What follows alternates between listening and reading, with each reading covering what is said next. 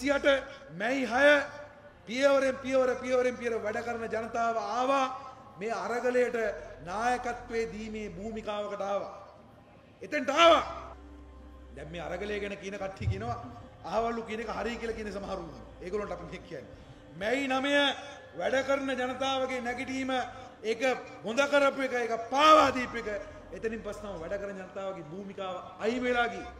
ඊට පස්සේ ශිෂ්‍ය ව්‍යාපාරය මේක ඇදන් ගියේ. ගෝල් ෆේස් අරගලකරු වැදන් ගියේ.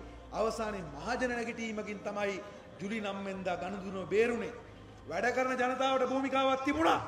ඒ භූමිකාව අත්පත් කරගෙන මැයි 9 වෙනිදා ඉස්සරහට ආවනම් සමහරට ජුලි 9 වෙනිදා දක්වාවත් මේක යන්නේ නැහැ. යන්නේ නැහැ විතරක් නෙමෙයි මේ රටේ වැඩ කරන ජනතාවට ලංකාවේ ඉතිහාසයේ දැවැත්ත දේශපාලන පිම්මක් පනින්න තිබුණා මැයි 9 වෙනිදාන් පස්සේ. අපි වැඩ කරන ජනතාව දැන් ඒක නිවැරදි කළ යුතුයි. මේ තීරණාත්මක මොහොතේක නිවැරදි කළ යුතුයි. අද වෘත්තී සමිති ව්‍යාපාර තියෙනවා ප්‍රශ්නයක්. අපි ඒකත් කියන්නේ. දැන් මේ වෘත්තී සමිති නායකයෝ බහුතරයක් නායකයෝ. සුළුතරයක් නෙමෙයි බහුතරයක් නායකයෝ. වැඩෙනවා. පුදුම වැනිල්ලක්. ඒ වැනිල්ල ඒ වැනිල්ල නිසා තමයි කිසිම කම්කරු අරගලයක් ජයග්‍රහණ දක්වා ගෙනියන්න පහුගිය කාලය සියලුනේ. මේ වෘත්තී සමිතිවල සමහර නායකයන්ගේ ජීවිත අද මධ්‍යම පාන්තික ජීවිත. ඒ නිසා ඒගොල්ලන්ට මධ්‍යම පන්තියේ මතවාදී තමයි වැඩ කරන්නේ. පෞද්ගලීකරණය ටිකක් කරාට කමක් නැහැ. එහෙමයි මේගොල්ලෝ කියන්නේ. පෞද්ගලීකරණය ටිකක් වුණාට කමක් නැහැ. මේක ටිකක් කරන්න වෙයි නේද? ඉතින් මේ මේ වැනිල්ල නිසා තමයි අද වැඩ කරන ජනතාව ඉස්සරහට ගෙන්න බැරි වෙලා තියෙන්නේ. ඒ නිසා අපි පැහැදිලිව මේ රටේ වෘත්තී සමිති ව්‍යාපාරයට වැඩ කරන ජනතාවට අපි කියනවා මේ තත්ත්වයට එරෙහිව වැඩ කරන ජනතාව හරි කෙලින් හිට ගන්න ඕනේ වෘත්තී සමිති නායකයන්ටත් කියනවා මේ වැන්නන සුළු ගතිය නවත්තන්න මේ තත්ත්වෙට ඉස්සරහට කෙලින් හිට ගන්න කියලා. මර්ධනයට එරෙහිව සටනට සූදානම් වෙන්න කියලා අපි කියනවා. ඒ වගේම මර්ධනයට එරෙහිව ඒකාබද්ධ අරගලයක් හැඳවිය යුතු තියෙනවා.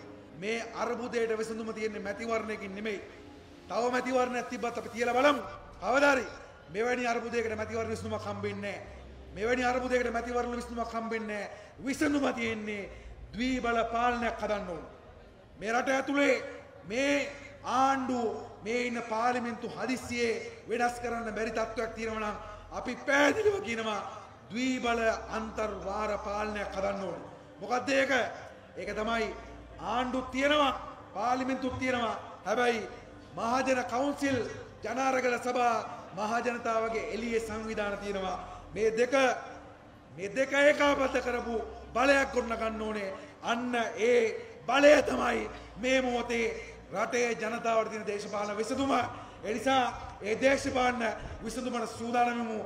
ඒ දක්වා සටන් වදිමු. මේ අර්බුදේ විසඳන්න මේ දශකයේ තියෙන විසඳුම. හොඳට තේරුම් ගන්න. මේ දශකයේ දේශපාලනය කැරකෙමින් තියෙන ඉතාම දුෂ්කර කොන්දේසි අර්ථයේ හැබැයි මේ දශකය මේ ලෝකේ දේශපාලන බල රටාව අනිවාර්ණීය ලෙස වෙනස් කරනවා.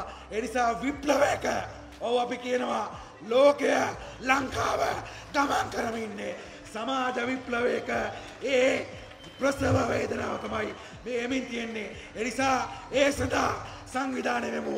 ඒ සඳහා වැඩ කරමු. පෙරටුගාමි සමාජවාදී පක්ෂය ශක්තිමත් කරමු. අරකලය ශක්තිමත් කරමු. විප්ලවයට ජයවා. සමාජවාදයට ජයවා.